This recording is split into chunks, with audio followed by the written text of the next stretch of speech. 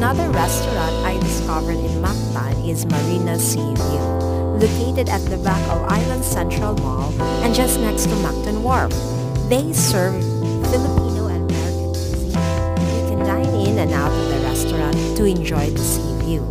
The place is big and ideal to hold special events in your life, like your birthday, a wedding reception, baptismal, and many more. See you!